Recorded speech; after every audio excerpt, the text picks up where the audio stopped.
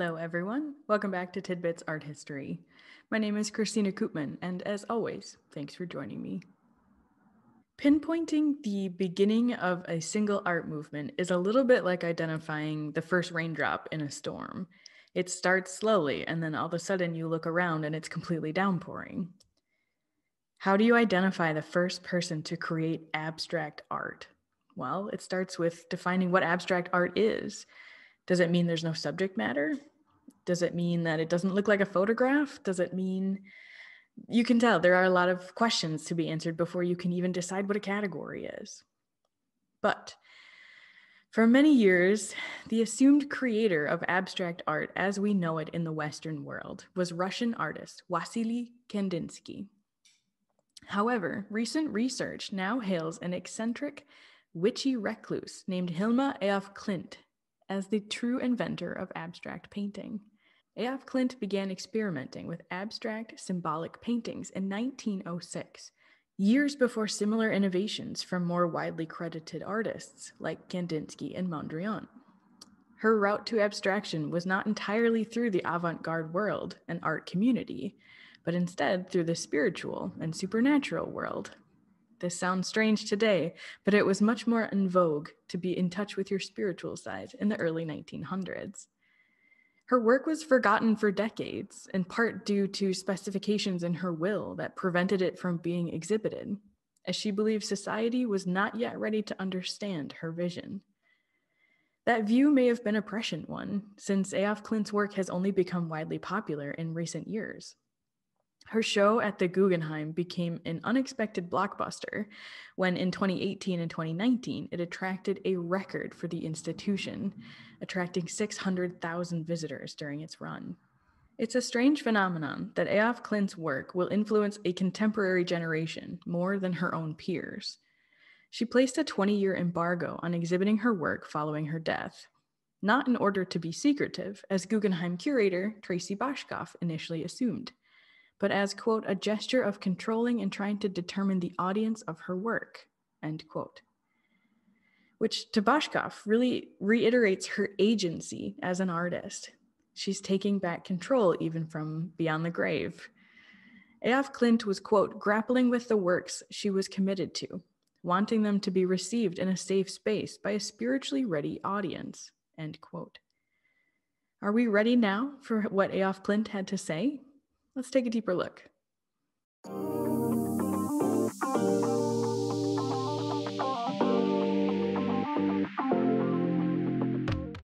Hilma af Klint, born 1862, was a Swedish artist and mystic whose paintings were considered among the first abstract works known in Western art history.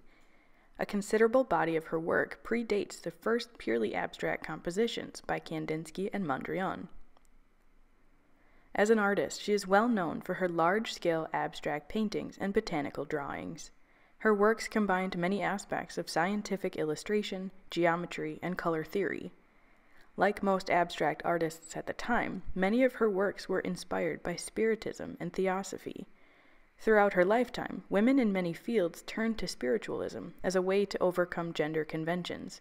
And in the beginning of 1896, A.F. Klint formed a group, De Fem, or the Five, and held spiritual meetings and seances.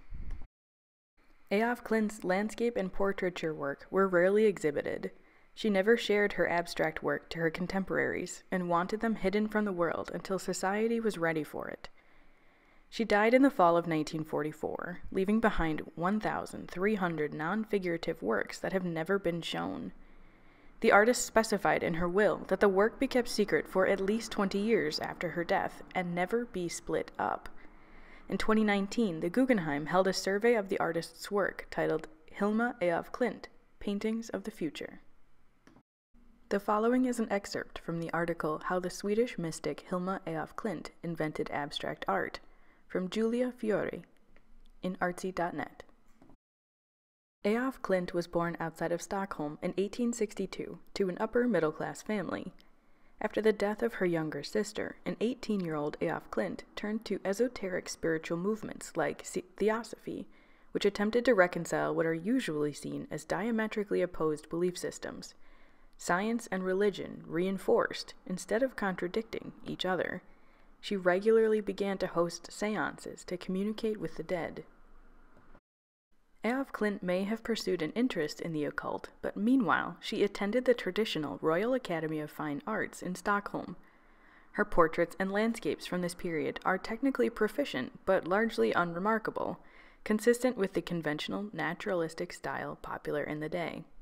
Still, she was successful and talented enough to graduate from the academy with honors, and the school provided her with a shared studio right in the heart of the city's art scene. The building also housed a salon, which in 1894 exhibited works by up and coming artist Edvard Munch, a show she most likely would have seen. It's not the avant garde that inspired the shift in af Klint's work to spiritually derived abstraction. During this time, the artist became increasingly involved with a local spiritualist group and soon initiated her own independent circle with four female friends. They called themselves De Fem, or the Five. At weekly meetings, this coven prayed, meditated, and held seances to commune with spiritual guides. While this might conjure for contemporary readers a gaggle of girls sitting eagerly around a Ouija board, curator Tracey Bashkoff urges us to see these rituals as a product of their time. af Klint's spiritual practice wasn't as unusual as it sounds to us today, she explained. It was a much more popular and accepted trend. Spiritualist movements were in vogue in the US and Europe at the turn of the century, especially among literary and artistic circles, including the artists generally considered to be the forerunners of abstraction, such as Wassily Kandinsky and Piet Mondrian. At the tail end of the 19th century, a string of scientific developments were radically altering prevailing ideas about the world. Darwin's evolutionary theories, while not yet entirely accepted in academic circles, matriculated into almost every sphere of popular culture. The discovery of subatomic particles, radioactivity, and the X ray confirmed for spiritualists that there was, in fact, a godly, invisible realm of existence. There was one other compelling reason for af Klint to seek out these groups. While mainstream art circles were wary of female talent and participation, movements like theosophy and spiritualism were very heavily run by women. These were areas of society where women were at the fore as leaders. Theosophy was founded by a woman, and both movements supported women's suffrage. Navigating between the artistic world and the spiritual world, af Klint shaped her life so that she could get the most support she could out of the systems around her.